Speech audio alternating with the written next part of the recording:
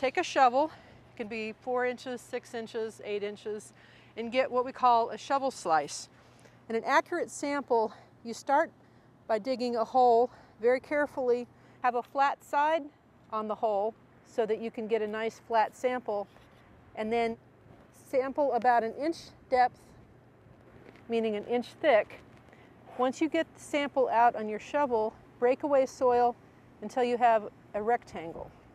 What this does is give you the same amount of soil from the bottom of the hole and the top of the hole so that you get a more accurate reading. Because sometimes there's a gradation and there are more nutrients at the top or in the bottom.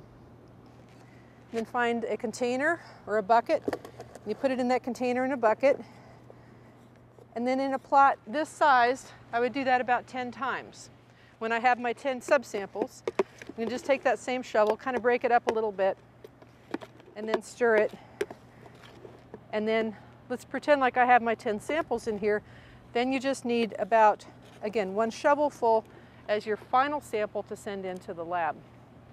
You can send in a fresh sample, but it's probably a little bit better to let it air dry before you send it in.